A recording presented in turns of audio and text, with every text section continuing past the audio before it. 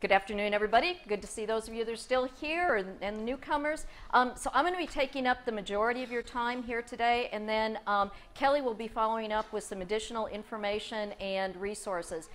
We have a lot to cover. This is basically like a one-week apprenticeship that is squeezed down into about an hour, so or an hour and a half. So um, yeah, please bear with us. Uh, and also, um, I am happy to send my PowerPoint out to anybody. There's a lot of information on these PowerPoint slides, so don't worry about you know having to take notes or read through the entire slide or anything. Um, so this is, uh, this one of our adorable foster dogs. So here's my contact information. Um, I also have some cards at the back, um, but you know, again, uh, please don't hesitate to reach out to me. Um, so the little guy over on the right, uh, that was Mick Jagger. He was um, one of a litter of 10 three and a half week old puppies that were brought to me about, you know, six months into my fostering experience. Um, I, I, begged other fosters to take some of them uh, before they, they drove me crazy. The guy on the left, that's Max. Max was my very first foster uh, dog. And I, um, as I'm, uh, for those of you that heard me before, I started volunteering with APA really kind of right at the beginning. Um, you know, about a month after we'd pulled our first dog. I went to volunteer orientation and at that time, people were doing multiple things, so our volunteer coordinator was also the person that was going down to the city shelter, reviewing the euth list, and um, trying to find, trying to get uh, fosters for them. She could not find a foster for Max, and his time was up. And she, so she reached out to me, and she made it pretty clear what was going to happen to Max if I did not come forward. I was terrified of this. You know, I kind of thought that I would ease into this. I'd have a few months to kind of, you know, get used. Yeah, really, I know, right. To say I was naive is just, you know, I mean, yeah. But, um, eh, but here I was. I was faced. I mean, I was looking at this picture. I mean, what could I do? So I took Max in. Um, as uh, one of our adoption counselors said, Max was a handful. Um, and uh, I had him for about three months. It took us, it took us a while to find his adopter. Um, and during that time, it was it was a great learning experience. I one I learned just from you know fostering Max, but I also like volunteered in a lot of different areas within APA. Was able to learn you know a, you know everything like from what the adoption counselors did to the you know we participated in the volunteer orientation and everything. So it was a great learning experience. Well, the other very naive thing that I did um, when I started, I didn't realize that um, Austin Pets Alive, that we were in our infancy of rescue work. I knew that they had been a nonprofit that was around for a while, um, and I was trying to find inf out information, and so I asked if I could start attending the team meetings. Um, so you know what happened. You know, three months later, Ellen said, "When is Anne going to take over the dog foster program?" Uh, but um, uh, anyway, as I said, it was it was just a really great uh, learning experience. Um, the other thing that I want to point out about that is that I mentioned that APA, you know, had been in existence for a long time. Austin Pets Alive was first formed before the millennium with the goal of making Austin no kill by the year 2000. Obviously, that didn't happen. So I think the very first lesson was if at first you don't succeed, try, try again. Um, it took eight years for them to kind of reform, and but you know, look at us now. Um, and forgive me for looking at notes. If I get off down a rabbit trail, we'll be here all afternoon. So, um, so the second lesson is what I just kind of talked about, that it's really, sometimes it's really important to just go ahead and make the ask. If that um, rescue person had not reached out to me and said, will you take this dog, um, I, I, might not have. And so, uh, and there's a fine line that we walk between pressuring and, you know, just saying, hey, can you step up to the plate on this one? Um, let's see. So, and then the, the third lesson, which is something I've already kind of alluded to, when I started attending the team meetings, Uh, that was when it hit me. It was like, oh my gosh, we're still figuring some of this out. You know, this is, I didn't just step into an organization that's got their act fully together. And so the, the, the third lesson was that don't wait until everything is perfect to start you need to you need to get the basics something that kelly had talked about earlier and we'll talk about more here but just just go ahead and do it just start and I, I, think every day that you wait to make it perfect a dog another dog is dying in the shelter And I also I want to point out I, we do I do use the terminology shelter because that's our perspective. APA pulls from this, but I think that the same thing applies to any rescue group. It doesn't matter if you're pulling off of um, notices that you see out there, if you're working with a breed-specific rescue. Um, kind of the analogy is the same because you know you th there are more dogs out there. They may not be in a shelter, but it's you know. it, it's going to be a long time before we run out of dogs that, that, that need saving. Um, and then I think that the other thing that was very important about this time that I learned is that it is really important to empower people and to do the job. That was something that, that Dr. Jefferson did with me. And I, you know, I, I joke and I like to say that I thought that she just, you know, saw this amazing talent that I had and what I brought to this. But the honest truth is that I was a warm body that had time, that was willing to take this on, you know. So um, yeah, don't don't overlook the people the people around you. So just a, kind of a brief history of the dog foster program. So this, you know, as I said, started out with with uh, just me.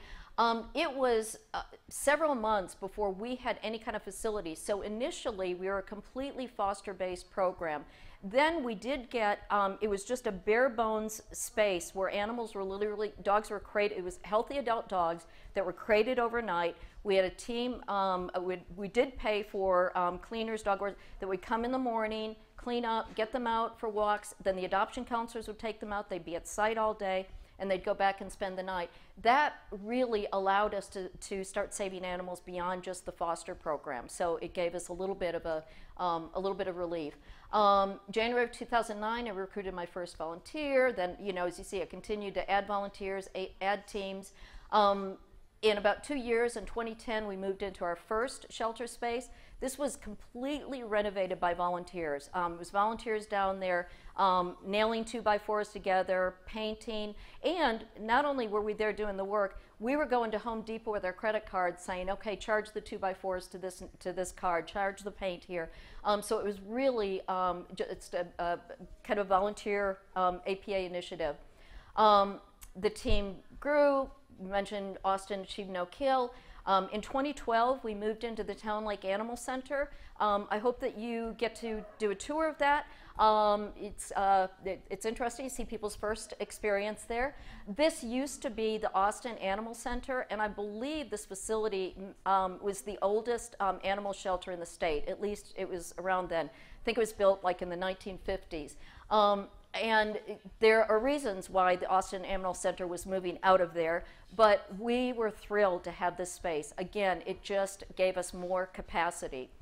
Um, and in um, 2014, the dog foster manager became a full-time position. We initially um, it was allocated between two part-time positions, um, and then we've uh, been fortunate and been able to add some staff uh, in 2016 and 2017.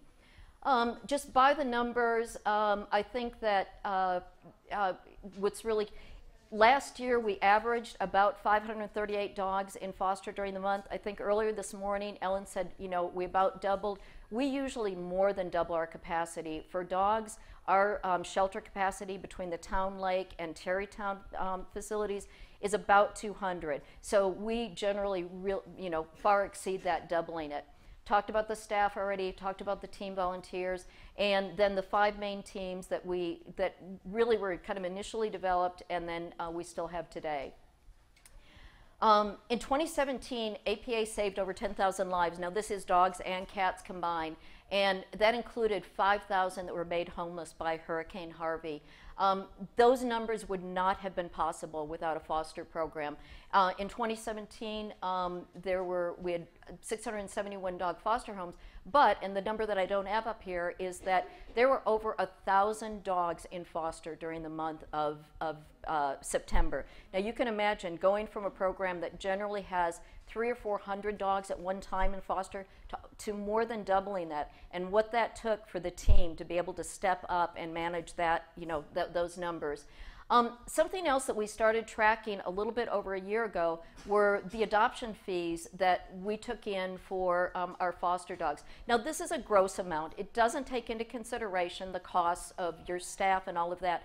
but I think that this was really important because, um, as Dr. Jefferson said earlier, your, your foster program is one of the cheapest things that you can do. Like I said, initially ours was completely volunteer. Well, at the same time, it, it's a revenue source. And so those, those are all adoption dollars that are being brought in, you know, through a foster program. And of course, ultimately what that just means is more life-saving. So why a dog foster program? Um, and I've kind of touched on really on most of these already. Um, it increases your capacity. Um, it allows you to begin saving lives without a shelter. Um, saves populations that are difficult to manage in a shelter environment. Uh, you know, this is like your puppies, your bottle babies, your, your little scaredy dogs, um, dogs with medical issues. And something that's really becoming even more critical these days as we're getting to that last kind of the big, big dog percentage is providing a break for, for dogs that are declining in a shelter. And then I think this, this third area is, is really important, enabling an organization to meet emergency needs. Uh, I already gave the example of Hurricane Harvey, which just which was huge. Um, but we also so facility failures has been a big thing with us because we're dealing with an old facility that it was basically in a floodplain flooding was a constant issue, and there were a number of times where we had torrential rains come through. We had to put a plea out to the community um, that we needed fosters to come down and get these animals because their, their kennels were, were uh, flooding. And there are pictures of people lined up down the block to, to take um, animals out of the shelter to, to do that. It's, yeah uh, gets to be every time. So facility failures, same thing here. Obviously, Austin's hot in the summer. You know, your air conditioning goes out. You've got to, you know, get people to get them out of there. And then um, other emergency situations. Uh, several years ago, we had huge um, forest fires in a community east of us. And um, again, we the foster program really stepped up. We had over 500 people apply to foster excuse me, apply to foster in just a couple of weeks, and we approved over 200 people in that time. Now, not all of those people stayed on to foster, but some of them did. And again, during that time, uh, we were able to uh, help save a lot of dogs. And one of the things that we did then, I think, which was a lesson, kind of came out of Hurricane Katrina, and how rescue organizations need to respond to these emergencies differently is that instead of bringing in animals that were found in those communities, we took the animals from those local shelters so that they had room to bring in those animals. That kept the animals in the community, so it was e easier for people to find, uh, find their, their pets. Um, potential foster populations, I think you all know these. Um, uh, initially, so as I've mentioned, when we first started out, every dog went to foster. It was the only way we could save one. Um, once we got that small um, space, then we limited it to the bottle babies, young puppies, pregnant or nursing mothers, dogs with medical needs, seniors only if they really needed extra care. If they were a healthy senior, they, they were able to, to stay in the shelter. Um, or fearful, fearful animals and unvaccinated dogs. And we were pretty clear about that. Those were the only animals that went to foster because we really, you know, again, it was all about kind of increasing our capacity. Now, we, um, all of these uh, types of animals are eligible for foster care.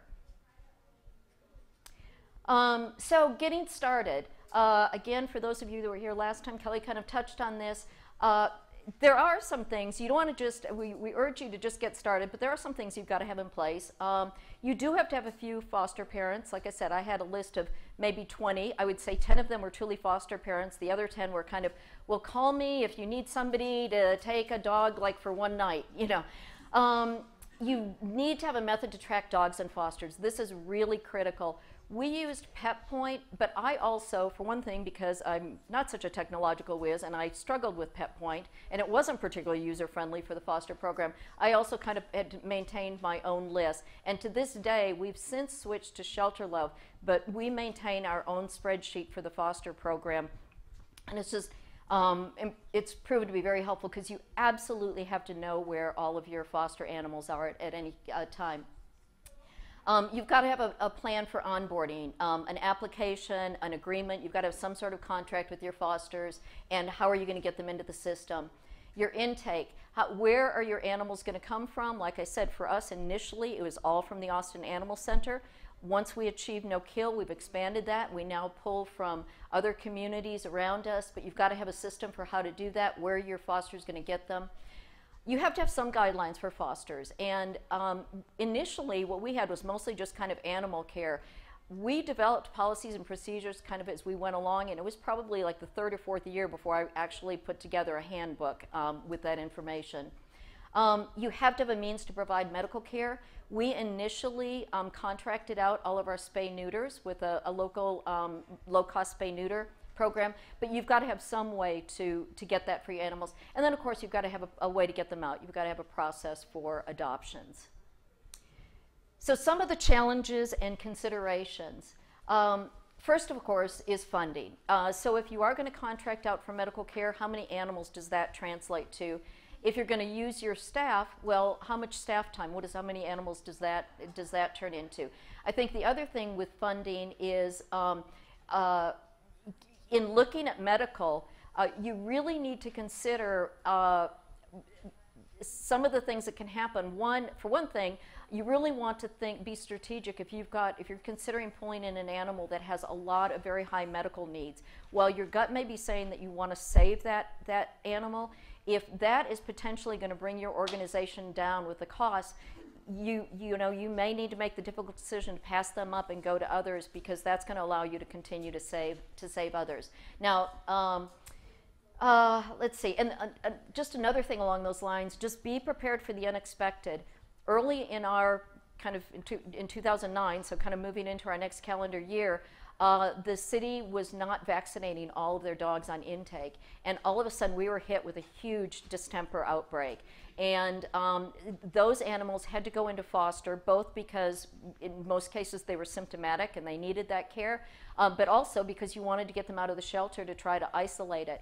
Um, I, I, don't know any of you that have ever fostered a distemper, uh, do, a dog with distemper. It can be one of the most heartbreaking things. So, on top of trying to make those placements, you're dealing with the emotion of these fosters that are having their dogs die despite their best efforts. And even if they're not dying, they're dealing with, with the tremors, with everything else that comes with it. So, um, and that was something that just about, you know, brought APA under.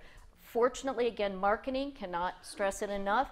Um, we got the word out to the community, and the community supported us, and, and so we were able to uh, get through that. People, what are your staff and our volunteer limitations? Now, let me tell you, under Dr. Jefferson, you're always pushing this to the max. Um, but you still just have to recognize that there is a limit to what you can ask um, of, of, people.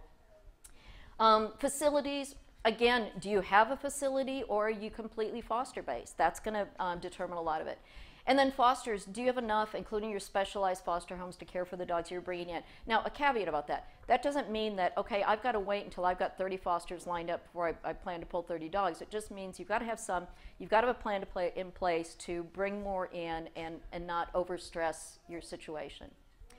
Low-hanging fruit, I think everybody's heard, heard of this. Um, this morning they talked about it being kind of the spectrum that you know it's like from the very easy to the to the other. So it's just knowing where you are in that spectrum and what group that you're going to go after. Um, and again, just what what I was talking about earlier. If you're just getting started, um, you really may need to focus on where can I have the most life-saving impact with the least resources um, it, until I get to the point where I can take on more.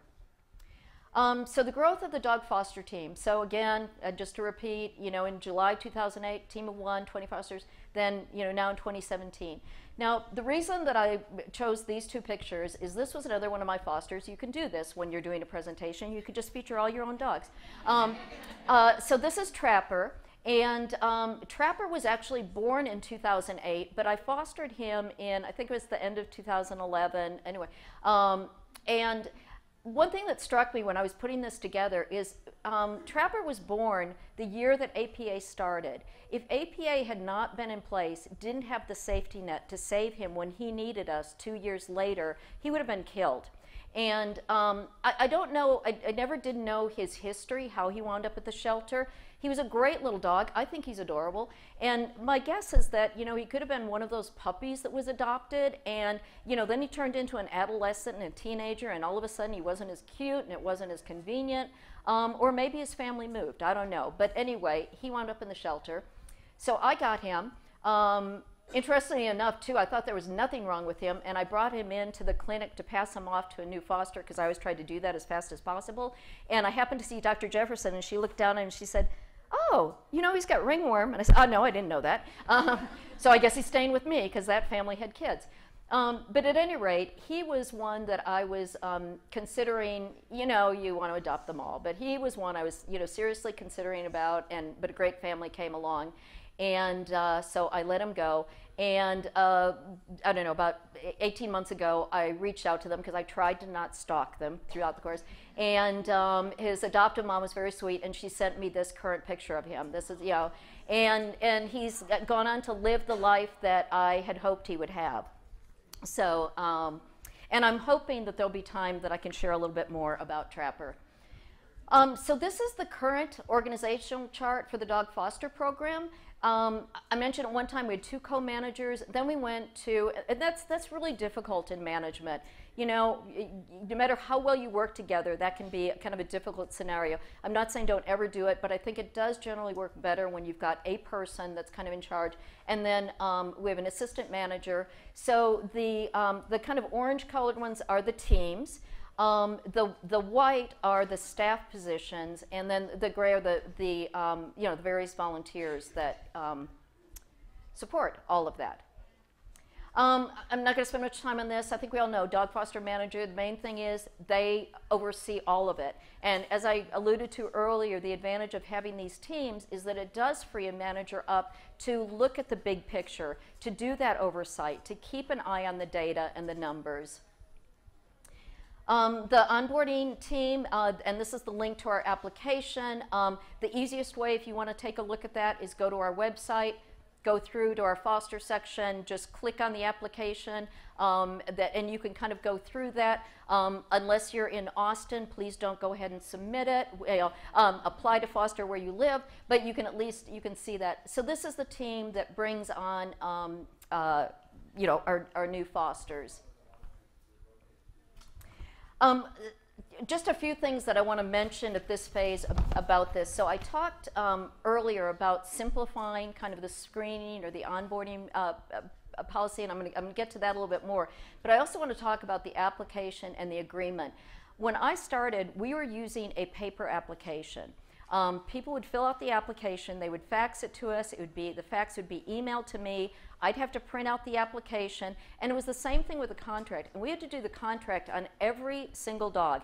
Didn't matter if the person had fostered before, they have a new foster dog, they've got to do this. And even more so, if they had a litter of puppies, we were supposed to have one filled out for every single member of the, every you know, puppy in the litter. I quickly put an end to that. I said, oh no, we're doing one agreement for this whole litter. We'll do one for mom, one for this whole litter. Um, but it was needless to say, it was that was really difficult. And with with our um, with the agreements, so the idea was that I would line up this foster, then I would have to go get the contract from them before they could go pick up the dog. Well, Austin's a big community. For me to go, you know, meet up with some. So the other thing that I did pretty soon into it, and I did this on my own. This is what I'm talking about, being empowered to do this. I would email it out to the foster and I say, you know, send it back to me, say you've read and agreed to these terms, and then sign it and put it in the mail to me. Um, so what happened is we rocked along with that system, and then um, at one point, I actually had a situation where we had to come back and refer to this. A foster dog had gotten out, bitten the neighbor, the neighbor was threatening to sue, we were having to come back to find this. Well, I tend to be extremely anal about keeping things and filing and all of that stuff. I could find the agreement that this foster had signed for their previous foster dogs. I could find the one that they did after. I could find the agreement that I had sent to them. I could not find the agreement that came back to us. It turned out okay because we were able to show enough, you know, good faith that the foster was aware of, of the situation.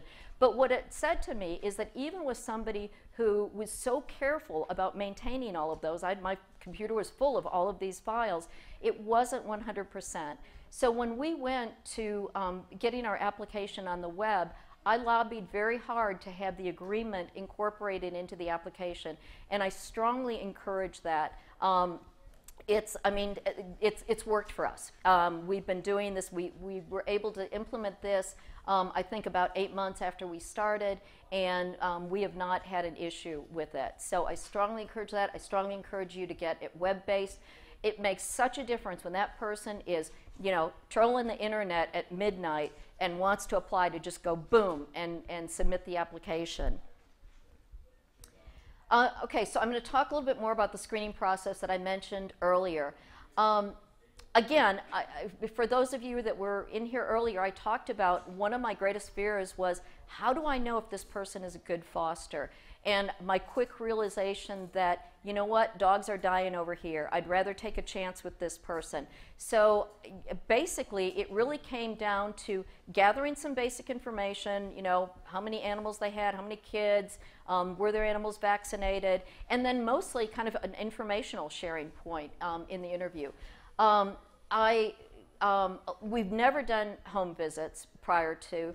Um, and we, we did initially require reference checks. I stopped doing that because eh, eh, not too many people are stupid enough to give you three reference checks that are not going to, you know, pan out.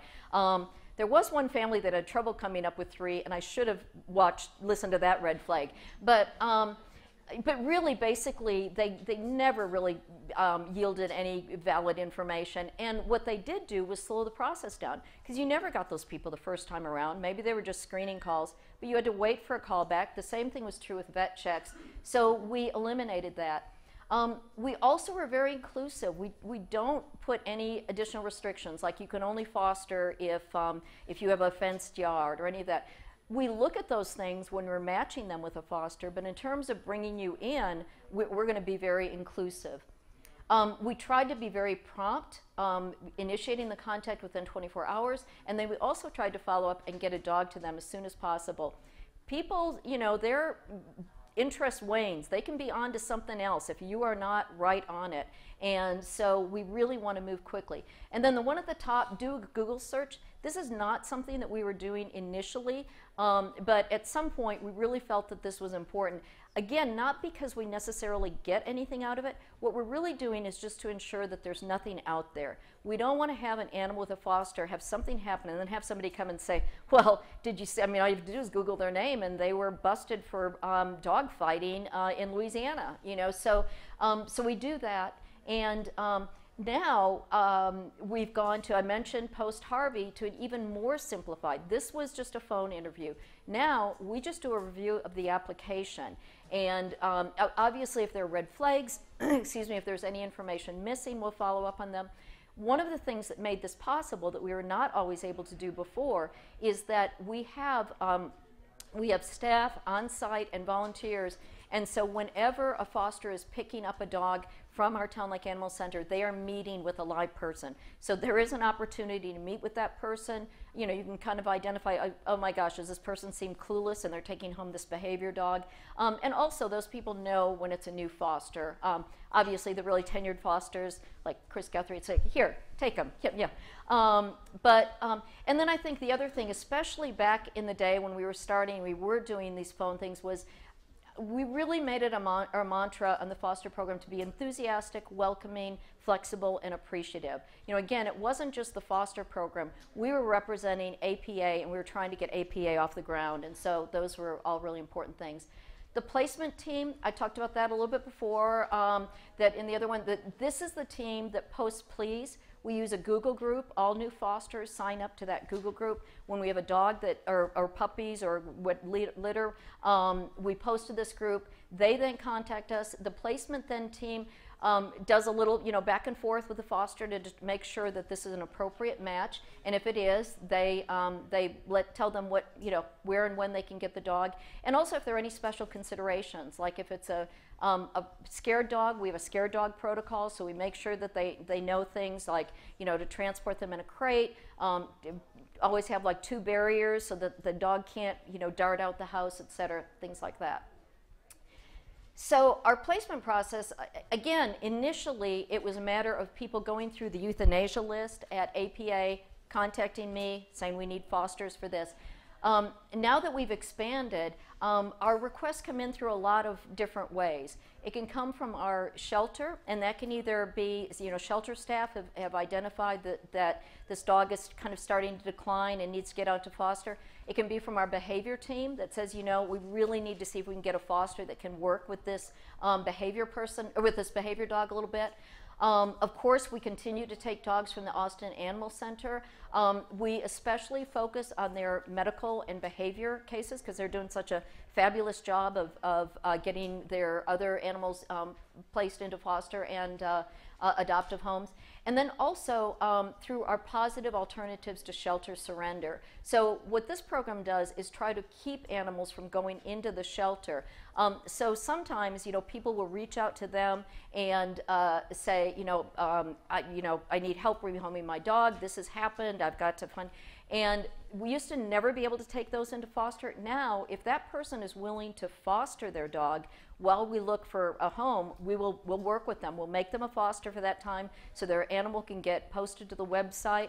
Um, if they haven't been spayed, neutered, and all of that, we do that. Um, we are the ones in charge of the adoption. We get the adoption fee, and um, so that works really well. And in some cases, if it's a really desirable dog, you know, if it's like a little, you know, two-year-old Shih Tzu, um, that we know we can get adopted in a nanosecond, we'll even just take them in, even if they're not willing to foster.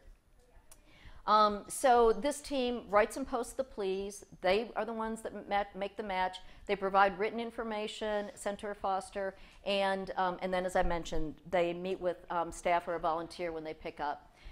So I've kind of touched on some of these things, you know, in, in, ensuring it's a good match. I mean, this is pretty brief, but it's pretty much, you know, kind of uh, like if it's a dog that it might take a while, okay, are you going to be able to keep this dog for this time? Um, and, you know, if it's a dog that, this is where it comes in that if this is a dog that needs to go home, go to a home with no dogs or no kids, that we um, confirm that. Um, yeah, and then also medical needs, um, because they're picking up from our shelter, then we also um, make sure that there's somebody there that can show them if the dog needs insulin injections or eye, you know, eye drops or something to show them how to do that. So mentor support. Um, we have so our mentoring team. This is basically the team that the foster works with throughout most of the time that they're fostering. Um, we have a medical liaison now that works, um, is kind of, you know, between the mentor team and the, the clinic um, to help facilitate all of, all of that.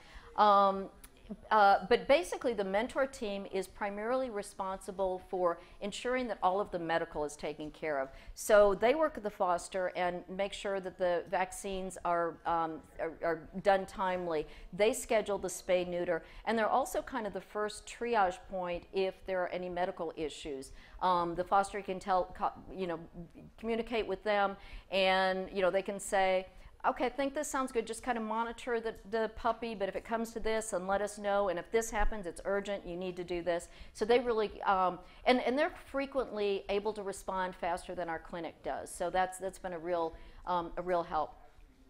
Then our outreach coordinator, this is the person I mentioned earlier um, about, you know, they're also following up with some of the new fosters. And, and this is, can be phone, email, um, just to see, you know, uh, you know, how are they doing? We also have somebody who is um, reaching out to new fosters, sending them a list of animals that, that need foster that might, you know, so we're, we're trying to be proactive in, in reaching out to some of those people. Then we also have specialized mentors. Um, we have mentors for bottle babies and also for pregnant and nursing mothers. Um, we have a great behavior team, so that's, that's kind of handled a little bit differently. So our adoption team, this is the team that um, they reach out to the foster when it's about time for the dog to be adopted. So if the foster has puppies, this is usually like just before the seventh week. Um, we make our puppies available for adoption at seven weeks, but they're not spayed or neutered or the, um, until eight weeks. Um, let's see, and they basically coordinate all of this. We do have some offsite adoptions and or, uh, adoption offsites and so this team will schedule, if we have a dog, a foster dog that can go out to one of these adoption sites, they'll schedule that. Um, they also follow through once the foster has, um, there's, you know, they've had a good meet and greet, they've got a good match. They kind of turn this over to the, the team. The team makes all the arrangements with the adopter, sets up the adoption, which is done by one of our adoption counselors. And then all of the adopter has to do is go meet with the foster, show them the signed adoption contract, and they can take the, the foster dog home. Um, we are we maintain a little bit more control of both the medical and the adoption process than I think some groups do. I mean, I think it's whatever you know works best for you.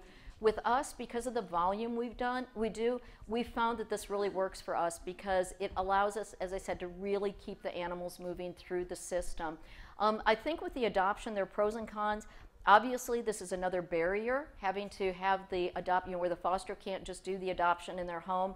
Um, but at the same time, I think a lot of our fosters appreciate the fact that there is this additional kind of, you know, there's this person who's also going to be talking to them that, you know, might see a red flag that they didn't. And then, then our adoption counselors also handle all the paperwork. They handle the money. Um, they go over all of the um, information about, you know, vaccinations, preventatives. Um, and also, if it's an animal with behavior um, issues, uh, they'll have a behavior consult with somebody from our behavior team. If it's an animal with um, severe medical issues, they'll have a medical consult with our medical team. So we also have a dog foster adoption advocate and an assistant. And this, um, we actually got this position as a part-time position through a grant that we applied for. And this person is kind of really proactively looking at the animals that we have that we're trying to get adopted and um, things like making sure that what's their website profile? Do we need to make, you know, do they need a video? Do we need to make any changes there? Can we get them out to events? Can we get them out to adoption sites? And just kind of be that little extra support. Um, the foster events team. This team um, works with our APA development team. As APA grew, people were coming out of the woodwork wanting to do special events and feature us. And it's a wonderful thing, but it's also overwhelming. And there's no way that our marketing team could work with every single group that wanted to do that. So what they've done is that if it's a, a situation where they feel it might be a good um, foster exposure event, they'll refer it to us, we'll evaluate it, and if it seems like it might be a good opportunity for fosters to showcase their dogs, then we'll work directly with that organization. We have some volunteer, um, some, some volunteer adoption counselors that can sometimes be there to do the adoption on site. Uh, or at the event, but if they're not, we just treat it as a meet and greet, and then we'll schedule the adoption um, later.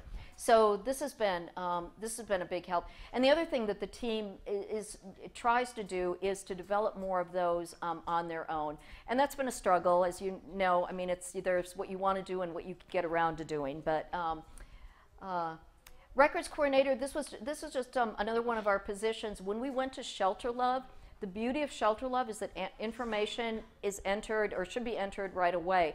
Um, but what that does is it kind of put it on us to enter all of the animals that were coming into the system. So we were also able to get a part-time paid position to do this, which really helped kind of facilitate things. She gets them in the system, and then each of the team members from that point on takes over making sure that the database is updated with, um, with all of the, uh, their information. We're very, very fortunate at APA now to have a lot of other support. Um, besides what I've talked about up until now is all the support that they receive just on the dog foster um, team.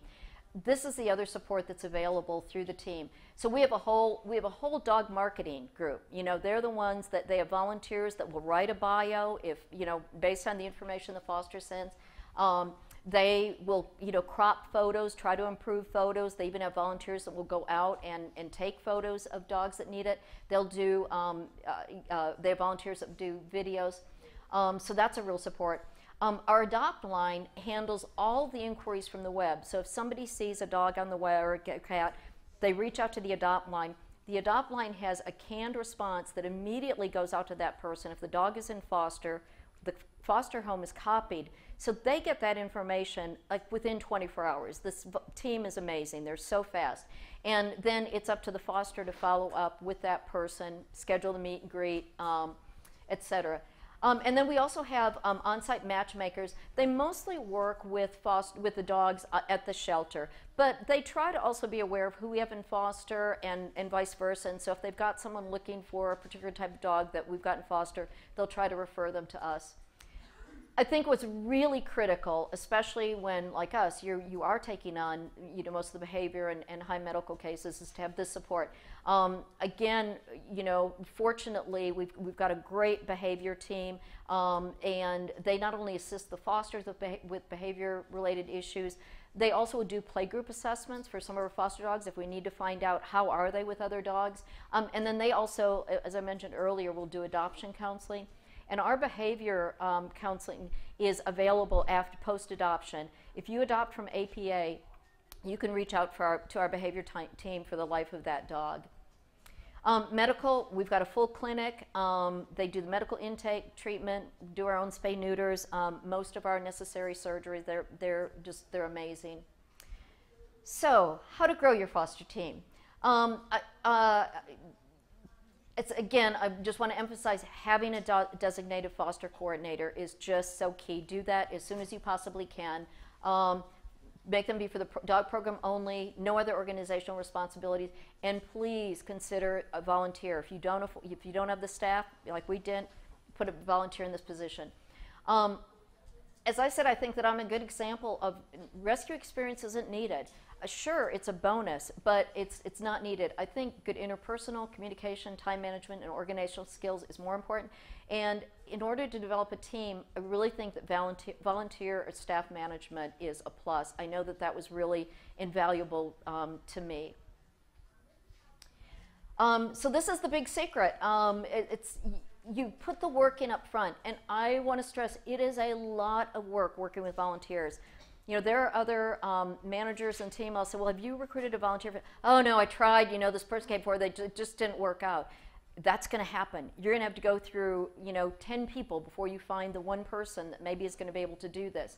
Um, but it is worth it in the long run. And frankly, it's the only way we can do this work. There is no way that we will ever be able to have enough staff that we can just hire people to do everything. So um, you've just got to do it. Um, job descriptions are very important. Um, but your positions and teams change over time, so you have to adapt those. You also um, you need to be flexible. If somebody wants to help, um, but doesn't fit one of your job descriptions, make it up. Um, and I, I want to give you an example of how this worked for me. I literally I was so desperate for help when I started. So as a um, when I was doing the work on my own, um, I was working seven seven days a week. Uh, all the fosters had my phone number. They could call me any time of the day or week. I was work, you know, doing 50 or 60 hours a week. Does this sound familiar to anybody? Um, and I, I, just, it was like I was desperate. So anybody who said, and I was constantly recruiting. Anytime I was recruiting for fosters, and do you want to help the team? You know, um, and uh, so I would anybody that could help we had a foster who she lived kind of on the very edge. She was 45 minutes from Austin. She was a um, she had three kids. Uh, she was a full-time mom. She took in bottle babies, and she wanted to help the team, but didn't have much time. She said, "I can probably give you a couple hours a week." I said, "Great."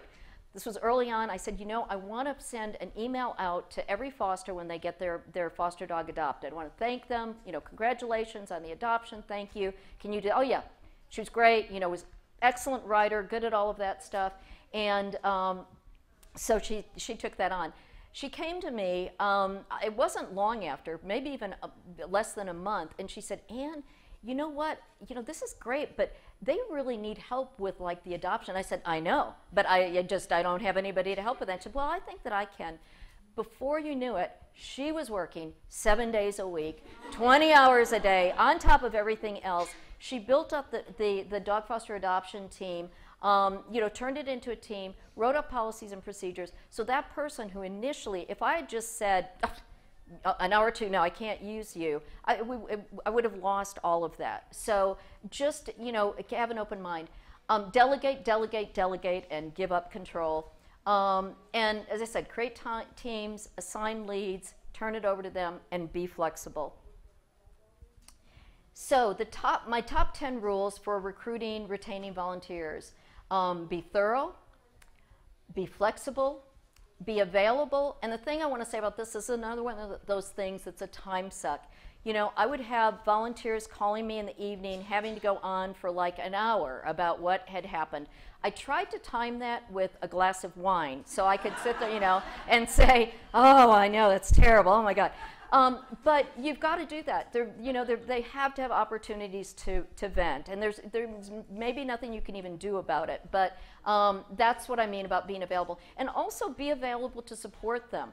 Just because I had teams out there that I delegated, didn't mean that I, I gave up. You know, I had to, if they were there, if my volunteers were out there working, I had to be available to them. So they could also continue to call me any time of the day or night or reach out to me if they if they needed to. I have to one thing I have to say about that, even though that was the case, almost nobody ever abused that. I had one foster that would call me that was different, Chris. Yeah. um, I had one foster that would call me like inevitably, like at one or two in the morning, and you know, with this major emergency about this mom and you know, litter of puppies that she, and I was like going, oh my God, why is it always? And finally, I was talking to someone, and they said, Anne, that's bar time. And sure, I mean, and I always suspected that she sounded like she, you know, maybe had been abusing some or on, the, you know, doing something. And it was just, it clicked. I thought, oh, I think you're right. You know, she just came home and found something, and so she's calling me. But literally, out of the whole time, that was the only, you know, instance where I really had um, anybody, anybody doing that. So, um, be humble. Um, you know, I think that we're all happy to get kind of kudos, but if you're like a team leader, give the credit to your team, you know, and um, and also take the blame. You know, if something's gone wrong with your team, don't don't blame your team members. Be a cheerleader. Find something to um, praise them about, and and instead of focusing on what what they're not doing. I tend to be a pretty critical person because I kind of have st high standards for myself and everyone else. So I really have to kind of stop myself and say, wait a minute, is this the time to come in and criticize something about the, somebody about this? You know, let's find something positive and then later maybe we can kind of come back and talk about how this, you know, didn't, yeah, how uh, to keep it from happening again. Be a giver, don't hoard knowledge. Um, one thing that I've, I've, found, and again, I think that um, is that it can feel really good to be the person with the answers. You know, so when somebody comes to you to just say, hey, um, oh, well, this is what I would do. But it's more important that you give them the information and then ask them, okay, so now what would you do? Because then you're teaching them. And I've always said from the day you start in a position, start training your replacement. Um, so just, you know, share that, share that knowledge. Um, be adaptable. I kind of mentioned already bringing somebody in. Another situation that I had come up is that I did have a volunteer in, that was working as a mentor, and she honestly was kind of driving me crazy. I personally I liked her, I, but it was just it was like I thought this is just not working out. And I honestly was thinking, is this going to be the time I just have to say, you know what, this volunteer position isn't working out, which you never want to do. Just like with a foster, you don't ever want to do that. So I came up with an idea of something else that I thought that she could do. Again, kind of just made it up, although it was something that I thought, well, this could be useful. And she was great with it. You know, moved her over to, she was happier, I was happier. So I just, you know, look for those opportunities. Be a uniter, build relationships, make opportunities to get together. And this is really hard. We're all so busy. Um, you know, we used to try to do it every six months. We'd be lucky if we could do it once a year. And I think it's important if you develop teams, it's important for those teams to get together, but then it's also really important the, for the whole team to come together because you don't want to create new silos where you know you're not coming in. You have to remember that you're all part of the foster team and also that you're part of the larger family that you're involved with. Um, be open. Um, I think that this is also really important in our work this person may not ever be your best friend. They might turn out to be, but they may not be. They might rub you the wrong way. And but that's okay. You're not there. And I think they mentioned that earlier to, today in the opening. This is not about having people like you or, or creating friendships. It's about saving animals. So, you know, get over it, kind of. um, okay, so recruitment strategies. Um, this is something that I've added recently because I've just I found it. Um, you know, people will ask me about recruitment, and I go and I look at their website, and I go, "Oh my God, you have to start there." So the number one thing, uh, when you go home or before you leave, go look at your website, or even better, have somebody that's not involved with your organization at all, and ask them, "Go on our website, pretend that you want to be a foster, and tell me what you find there." I can't tell you the number of times I've gone on, the link is broken, or it's impossible to find the information, or there's a phone number and nobody ever answers, and so, which of course they're not going to, we can't answer our phones, um, but you don't know if anybody's gonna get, gonna get back to you. So that's the first step. The second thing, um, and this was gonna be in my thing, marketing your organization. Again, when I started, we were so fortunate. We had a kick ass marketing person who understood this. And from day one, it was all about creating the APA brand and selling that brand and getting it out to the community. Um, you know, when, when Dr. Jefferson first asked me about, you know, doing the, you know, these uh, presentations, I was, when it came to especially fosters, I said, well, I just don't do that much to recruit. She said, she said, yeah, but what you do is when they come forward, you get them in and then you keep them. But, I, but it was easy for me because people, the word was getting out there about APA. Um, I think what Dr. Jefferson said earlier is, is so true. People want to come um, to, they want to help, they want to be a part of this.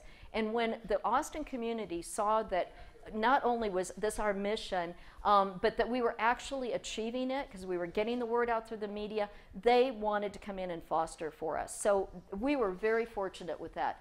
Um, secondly, though, the other part of it was reducing those barriers. You know, we made it easy. We were inclusive. We, we brought them in. Again, those, you know, four things. Um, being well organized. I mean, you're never going to be perfect, but you want to try to be as organized as possible. I know when I first went to the volunteer orientation, I was amazed. It was at it was at her home. She had binders with the policies printed out and everything, and I just thought, wow, this is. And this is when I thought APA really had its act together, and then I got into the reality, and it was like, oh, okay, well, that was kind of a mirage. But um, and we almost immediately dropped that because we couldn't afford the binders anymore. But, but it does make an impression on people when they feel like you're, you're well organized, you're ready, you know, um, because for one thing, you're making it easier for them. Um, let's see, and, and again, be prompt. I just cannot emphasize that enough all the way through the process. Try to get back with people, even if it's just to say, I don't have time to address this right now, but I'm going to get back with you later. Unless, of course, it's an emergency thing. Um, so expanding your foster base this is just the sky's the limit. I think one advantage that we have in animal um, rescue is that there are animal lovers in every walk of life, in every political party, in everything that we do. So, literally, you know, it, it's in a way the world's your oyster. They're all out there. So, look at first of all, if your organization does volunteer orientation, make sure you're a part of it. If you do an online orientation, make sure you've got a good foster piece in there. Um, speak at meetings in the community. If you know anybody, the service organizations generally will meet, you know, at least monthly. If you know somebody who's in the Lions Club or the Optimist Club or something, say, can I come, you know, for just 10 minutes to one of your, five minutes, to one of your meetings and talk about fostering? Um, I think that's a great way. Posting flyers, both physical flyers. Now, neighborhood listservs are wonderful. This is something that's changed, um, you know, at least for me in the last um, eight or nine years. Uh, you know, you can uh, post their public service annou announcements. Uh, you know, make if you've got contacts in the media, print or um, uh, um, air stuff. Uh, do that. Social media. Again, this is where the marketing um, is is so important. Um, blogs, Facebook. Um, submit a story to local publications. And I think particularly sometimes I hear people in small areas and they'll say, oh, you know, you're in Austin. Of course you can get all of these. Well, in some ways, when you're in a smaller community, some of these things open up more to you. The local newspapers might be more willing to, um, to, to print a story um, or do a PSA for you. Um, even, you know, some organizations have, have uh, their own newsletters. If you know somebody, say, can I write a blog? Can I, you know, can I write a little story for you to post out to your, to your staff? Um, consider community service. We initially had both um, straight up community service for foster and a teen foster program. Um, since then, the decision was made to, to not do community service any longer, but we do have a teen foster program uh, for community service. Um, that's, I think, really helpful. Um, recruit at your adoption sites. This is the other benefit of having offsite adoptions. As I said, you know, people see the dogs. If they can't adopt, have your counselor say, well, have you considered fostering? Lemonade out of lemons. I mentioned that earlier about the, the fires that we had and how that brought um, animals in. It's really important that you have an emergency plan before an emergency hits. So if you don't have one right now, go back and make one.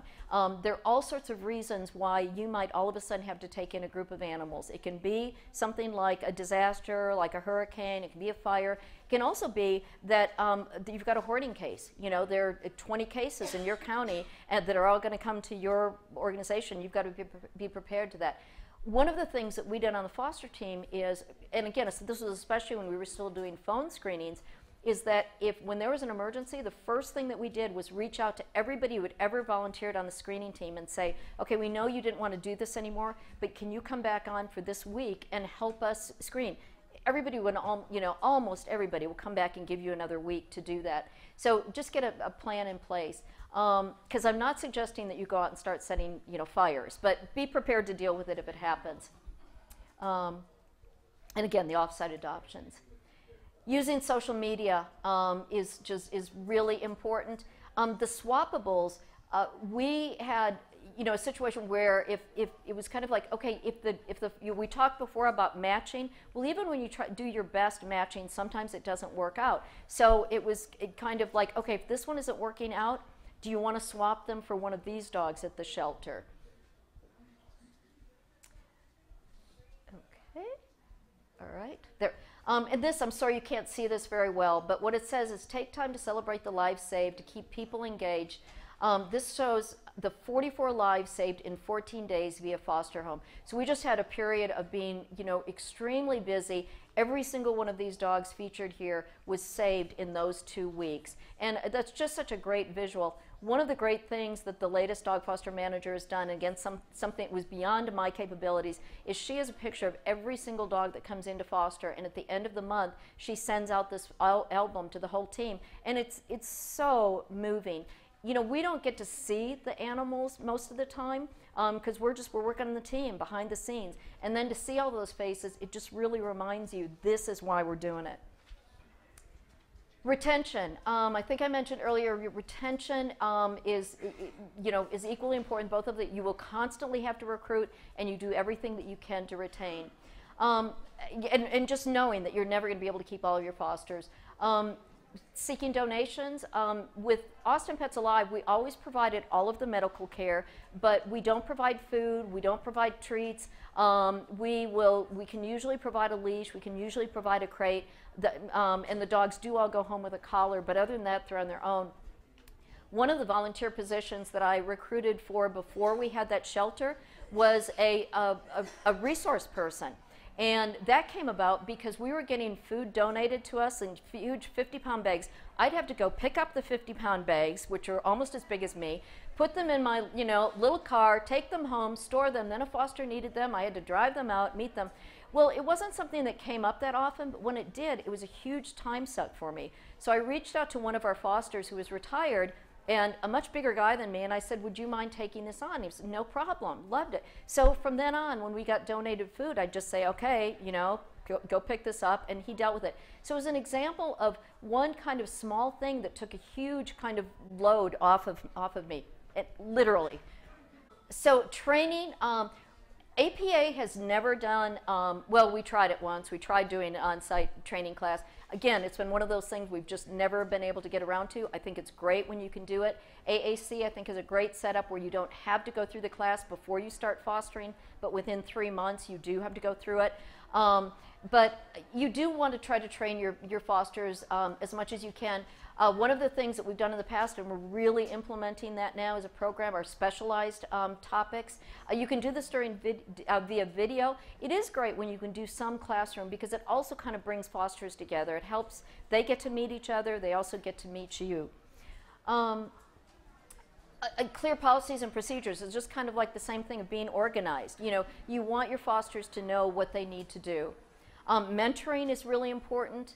Um, making sure it's a good match trying to honor requests to move fosters in a timely manner. And again, those three words, be supportive, available, and thank them.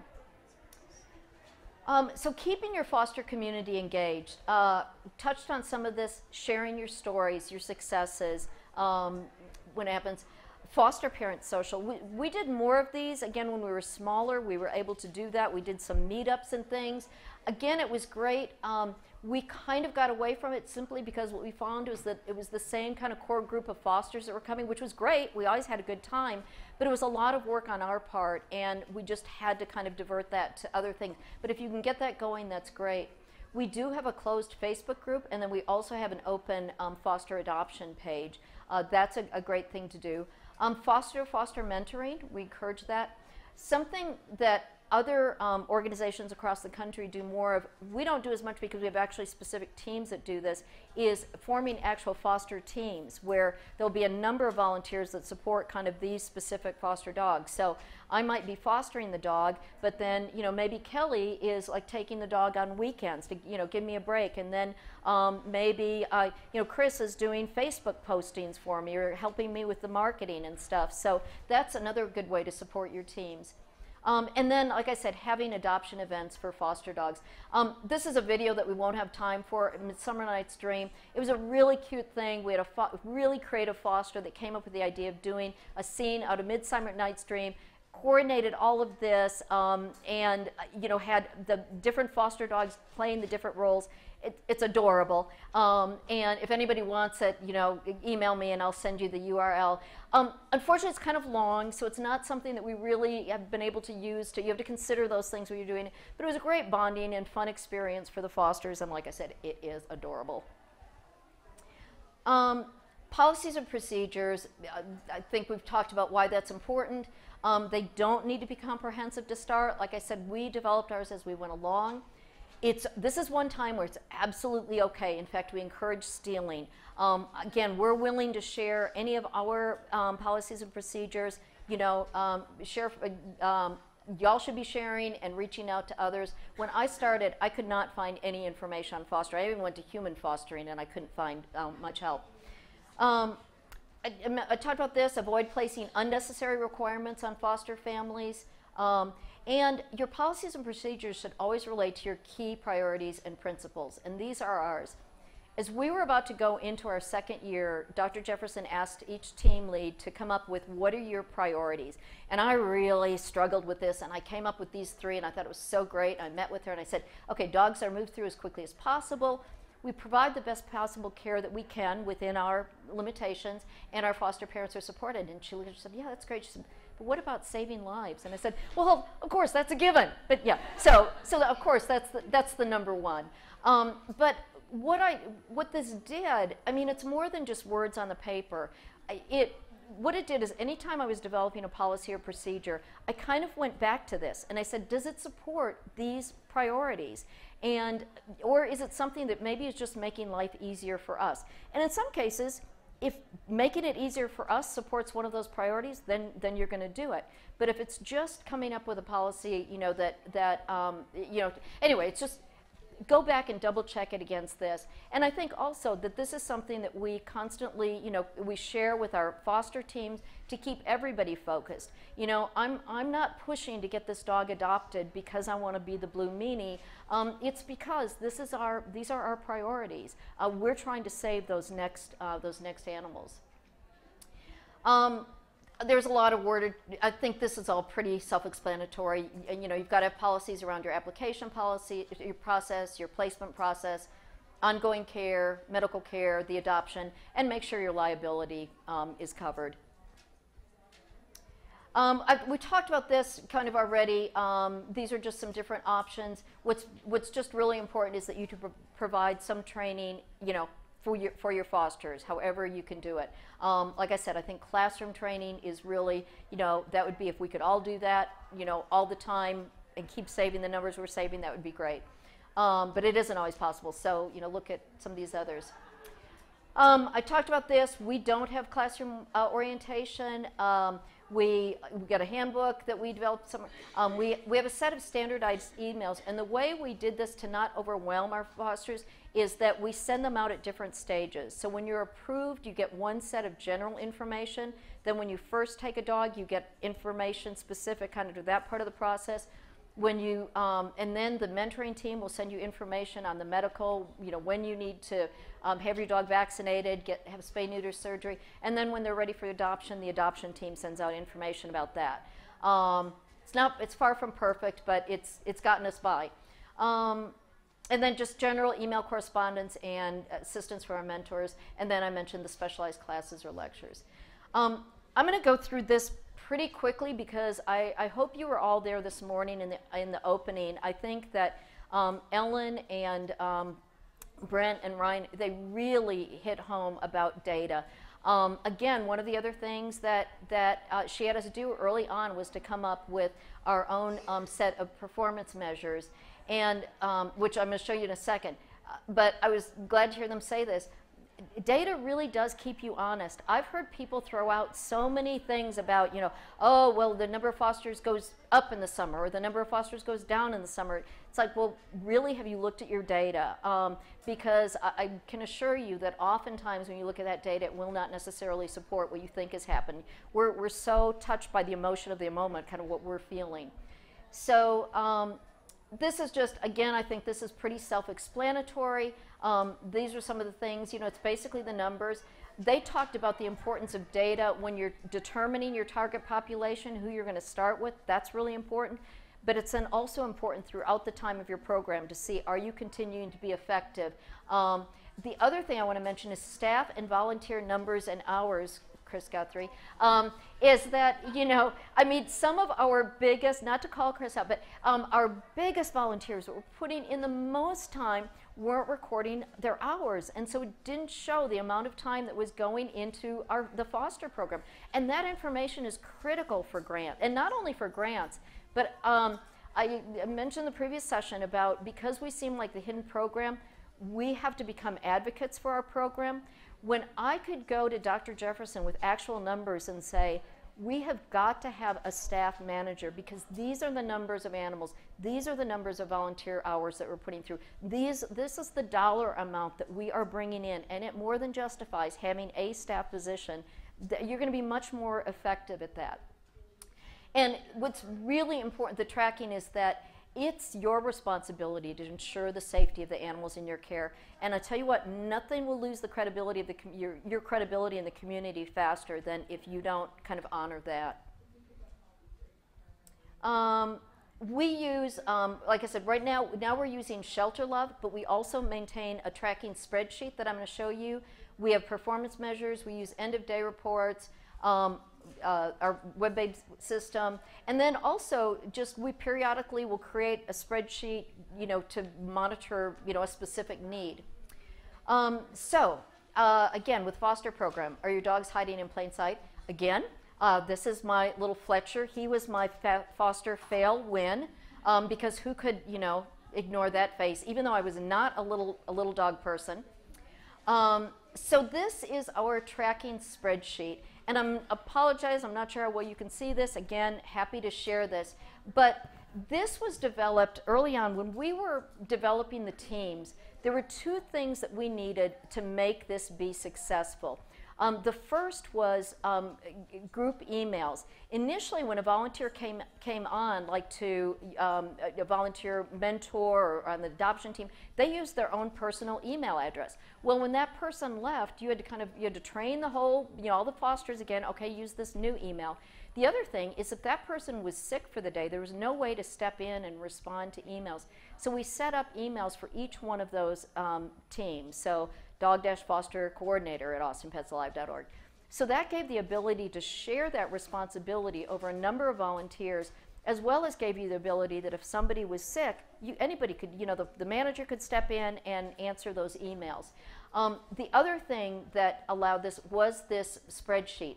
Um, the spreadsheet is shared with a bunch of people, buku people all across the organization. A limited number of people have access to edit it. Um, and uh, this, so when I was doing this, again, I had a volunteer. This was the early day, and I was explaining to her what I needed. I said, uh, we really need to have something that is just a snapshot of who is in foster. She came up with this. I thought it was, you know, God's gift to the rescue world. Uh, little did I know it was a simple Google spreadsheet, which now I can do all day, you know, in and out. But, but at the time, it was, and I will say, what she developed is we've made minor adjustments, but it's been pretty much the same. We're still using it today. And even though, um, in our experience, Shelterluv is, we think is really going to be able to give us a lot more, be more user friendly and give us a lot more data and stuff, this still has worked really well for us. And it's, um, you know, this is one of those things that they're going to pry this out of my cold, dead hands because it's, it's been so useful. What it does is it allows you, your whole team can kind of see the status of, of these animals. Um, and you don't have to give all of those people access to your database because that's, that's a, you know, scary, like when you're working with a team of 35, 40 volunteers, you don't want to give them all access to, to that. Um, the color across the, the top is significant. So, for example, the placement team does. They're the ones that make um, updates in all of this. Um, you know, you got your foster's name. I mean, the, the, the name of the dog, um, you know, breed, whether or not they've been spayed neutered, male, form, uh, female, um, who their foster is, the foster contact information. And then if you move over, then the, the fuchsia part is our mentor team. That shows, um, you know, have they had surgery? If not, when is it scheduled? Um, you know, any particular notes, like they'll put vaccine information. Um, then under adoption, have they been posted to the web? Are they available? Um, like in the top case, no, because they're, they're too young, but they'll be made um, available November 24th. Obviously, this is not a current copy. And also, um, everybody can see, oh, this dog has a pending adoption. So this has been just incredibly helpful. Um, I'm not going to spend, this is more something that we do internally. If you're a big organization, they can be helpful. You know, we can cut, we see the adoption um, notes for the day, so it's kind of a, a, a second check that we can see, oh, that foster dog was adopted at that site today. And also medical notes, behavior notes helpful. So performance, um, again, I'm not going to uh, spend much time on this. I think it was just covered beautifully today, earlier today. It's, it's so critical. And these are our um, performance measures. So um, this is something else that what I initially came up with were um, the, the top three. The number of approved dog fosters, the number of active fosters, and the difference between those is that we brought fosters on and approved them very quickly, and, and you know we've got incredible numbers. You know now well over 2,000. Obviously, not all of those people are actively fostering. So the active foster number that represents the number of fosters that had a foster dog for at least one day during that month. Um, so that's kind of more representative of, of how many people are really actually available. Um, and then the number of dogs in foster what we added later was the number of dogs um, adopted by foster, and we, we break, break that down a little bit further. Um, you don't necessarily need to know that. We look at like who got adopted at site, um, who got uh, adopted um, from an event, um, and then the total numbers. And as I said, we've actually, since this screenshot was done, we've added in, you know, how much was the adoption fee for them. Um, the, and then we also, the other one that we've added is the number of dogs um, that died during the, the uh, month. Fortunately, that number is very small.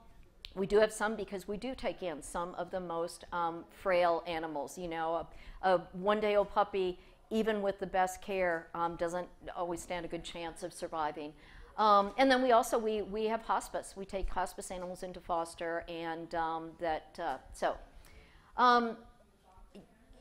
I think that just an example of where this was useful, when, when we first started and we had the offsite adoptions, the goal in the foster program was get, the, get this foster dog to the shelter where they can be adopted. So like at eight weeks, when the puppy was spayed, neutered, they went, back, they went to the shelter to get adopted there. Well, what we found was that you know, that was good for turning over numbers in the foster program. We had to do that initially to make space. But then what we realized is that, one, that wasn't working very well for the fosters. You know, if you had, um, they talked earlier about the person who had the bottle babies that then had to turn them over to the shelter that would, you know, um, yeah, that's not good. Um, and But equally bad, even if they survive, is just giving up. You know, here I've gotten this puppy to eight weeks and now I've got to turn them into the shelter and they're going to get them adopted out. Um, and the other thing is that so our foster animals were going to these off-site adoptions or going into the shelter. Well, they were taking up room where we could have been saving other animals. So we completely shifted our focus, and instead of getting them to that point, it became we're going to try to get as many of our dogs adopted directly out of the foster program as possible. And having our performance measures allowed us to monitor all of that. so kind of to, to recap, and for those of you that were here before, this is a repeat. Um, we went from a single volunteer to the largest foster program in the country in a matter of a few years, um, and that um, you know this was possible through the use of volunteer teams, and all of that applies to any of your teams. That's not unique to foster. Any if you're you know trying to develop other programs, all of that stuff applies. Um, again, remember all of this was done through the use of volunteers, most of whom had no prior experience. Um, this is all pretty much a repeat. I'm going to just let you look at that because I think um, it's pretty, pretty self-explanatory.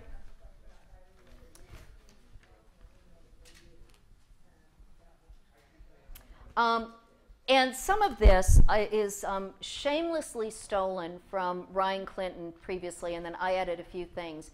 Um, but I think it's really important. Your situation is not unique. You know, so many people say, "Oh, I know you can do this, but you know, this is our situation." And just as an example, the size of our program, people will say, "Oh, well, you're in a big urban area, or you've got all these pro." We didn't have that when we started out. We didn't have the staff. We didn't have a clinic. We didn't have a behavior team.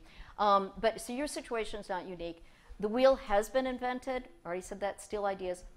Look outside animal rescue for other ideas. I think marketing is probably the, the big one where we really, you know, kind of looked outside and said, hey, this is for us. Um, start like yesterday. Don't expect to wait for someone else to do it. No kill begins with you. Um, and, and even beyond no kill, um, you know, again, even for the, the individual rescue groups, um, it's, you know, if you say this one, there's going to be another one there. So um, fear is your biggest enemy and perfection is the enemy of life saving um, so again this is where just you know just start doing it. Um, we already talked about that every day. Um, the other thing is don't accept the status quo. In hindsight one of the things that actually was a benefit for me about not having experience is that i didn't have any preconceived ideas about how rescue should be done. So when i was suggesting um, you know some of these changes i wasn't fighting in my head against what I, you know, what I thought was. It was just kind of like, well, why can't we do this?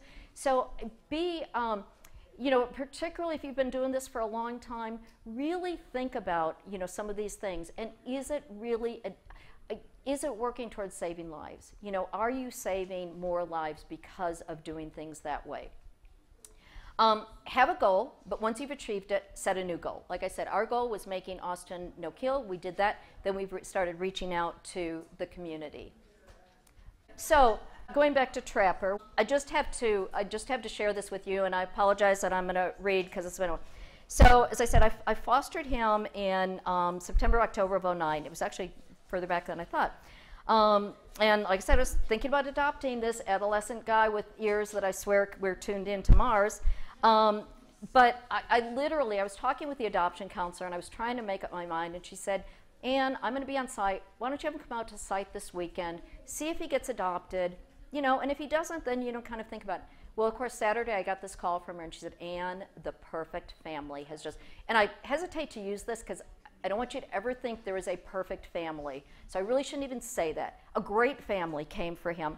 And, um, and I, I said, okay, I didn't even get to say goodbye to him. You know, it was like, okay, he's, he's going home, but that's good. Um, oddly enough, they renamed him Max, which was my first foster dog, so I thought that was pretty weird. So the next day, I get up, 6 o'clock, I'm at my computer, you know, checking the foster stuff, and I get this email. Anne, my new adopted mom woke up thinking about you this morning hoping that you're not missing me too much, and are happy knowing that I'm going to be part of a young family in central Austin. I'm not 100% sure what to make of this new group, but they have two young kids who are going out of their way to shower me with love and affection. The mom and dad are nice too, and, I sure, and they sure like having me around. This morning, I'm going to get to walk with the boy and girl to school, which should be fun. I'm still sleeping this morning, but my boy just woke up and told his mom, I think we got the best dog ever. I can never get through this without. Um, so then, about a week later, I got this. I, needless to say, I was like sitting at my computer sobbing when I read that. So, about a week later, I get this. The kids have taken to reading to him every night. Last night, I overheard them hugging him and telling him that he's one of the most important people in their lives. Then, a week or two after that, I get that. As you can tell, we love him. Several times a week, we all sit around talking about how he really is the best dog in the world. This is the dog that the city shelter was going to kill. Thanks for all that you did to protect him. I overheard Luke telling his friends the other day, Max's foster mom saved his life so that he could wait and join our family. And if that does not epitomize what fostering is all about, I don't know what does. Without fostering, dogs are leaving shelters in body bags instead of going to adoptive homes. And I even used this when I um, talk to our city council because I said there are two sides to rescue. One side is the animals that we're saving, the other side is the benefit to the people in this community. This dog has added immeasurably to this family. And like I said, when I got that picture of him and she said, yes, he has gone to the soccer games, he has gone camping with us, and he is now a senior enjoying this. It's just, that's what this is all about. So um, anyway, so that's it. Thank you for that indulgence, and I'm going to turn it over to Kelly. Hi, um, I'm Kelly Duer. Can you hear me? Okay. Um, I am the foster care specialist for Maddie's Fund. I'm going to be telling you a little bit about, um, just very briefly, I'm going to try and make this like 10 minutes or less so we have some time for questions. And um, I'm going to tell you a little bit about some cool things that we are learning about foster care and also some uh, ways that we are working together to provide resources for foster care programs and foster coordinators. One of the things we've been, that I've been doing in this position is we are doing some foster studies. And um, we're one of the one we're doing this year from 2017 to 2018. We have seven shelters uh, across the United States, and um, oh, thank you. Um, seven shelters across the United States. Uh, I went to every one of them um, and worked on training them how to do the protocol and stuff. We also call it the um, cross country uh, foster dogs in my hotel room tour. um, that's Chaim. He liked to party at 6 a.m.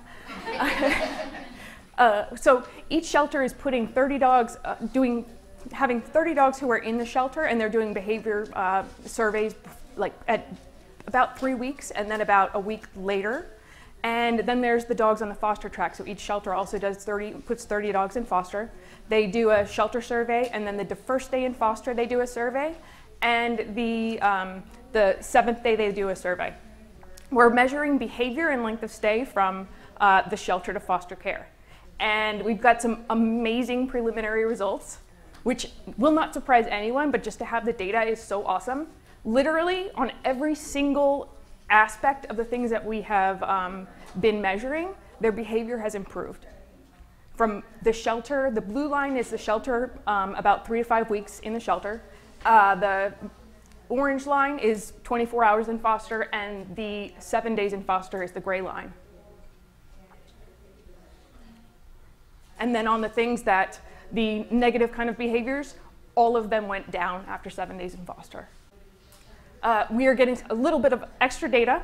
Um, Louisville Metro Animal Services, uh, they came to our apprenticeship uh, in March, literally the day that the foster coordinator came back to her community. Oh, literally the day that she went back to her community, she started a day trip foster program. And it is one of the most successful day trip foster programs that I know of.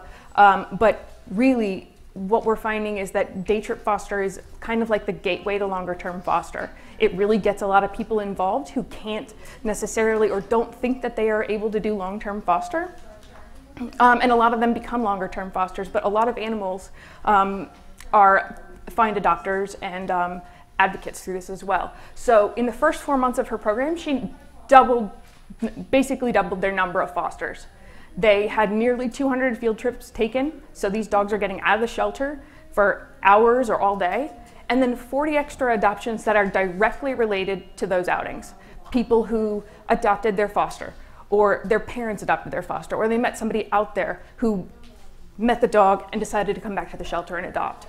So we, I, we are um, hypothesizing that these programs are super important. Uh, this is a new study that will be starting in a couple of months, and it is a, basically an expansion on the foster studies we've done in the past. We are looking at differences in training methods for foster coordinators and shelters. We are doing the apprenticeships, so some of the shelters will go through the apprenticeships. Some of them will have me come out and do the training on site. And then we're developing online training, which um, will all be kind of connected. It'll be the same types of things that they will go through instead. And we'll see which ones um, seem to be the most helpful. But we're also going to look at, at, three different types of foster programs the day outing foster program, weekend and overnight foster, foster programs, and long term outing, long term foster care.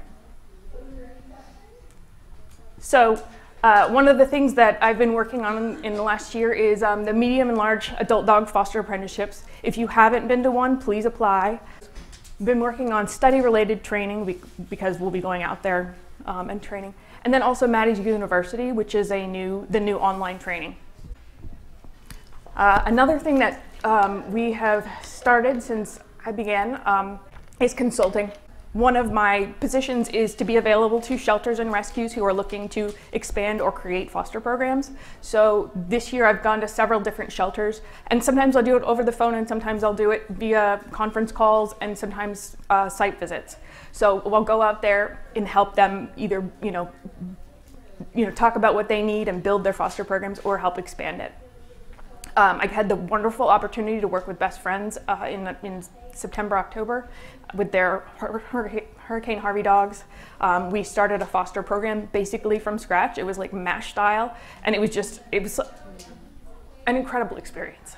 and then Chicago does not have a foster program currently, but we went out there and have started to develop it. They should be rolling it out soon. Another thing that it has been one of the responsibilities that will be available to you guys is um, a lot of resources that we're compiling and gathering and creating resources for foster care. So um, one cool, cool, thing that's coming up, Maddie's Pet Forum, is um, kind of an internal uh, resource group. So there's different groups on the inside, and it you know there's there's a foster care group, there's an adult dog foster group. There are there are groups related to pretty much anything, and you can create your own groups but it's all people in animal welfare exchanging information. And it's, it's really, uh, so far, really amazing. Uh, we are also building task lists and templates for growing and expanding foster programs. I've been collecting it from a lot of different places so that we have all kinds of, of stuff that you can look at and you know kind of create your own information. And um, the, the marketing guide for foster caregivers, which will is in the editing stages.